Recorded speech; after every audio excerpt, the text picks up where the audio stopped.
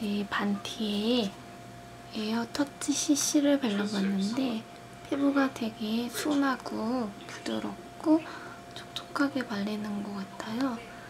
그리고 생얼 느낌 꽉 그리고 피부톤하고 너무 맞는 것 같아요.